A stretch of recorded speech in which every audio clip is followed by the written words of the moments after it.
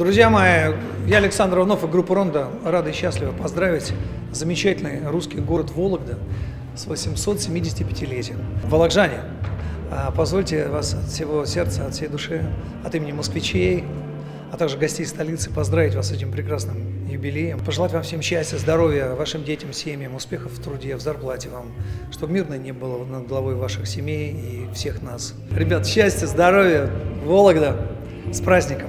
Александр Иванов.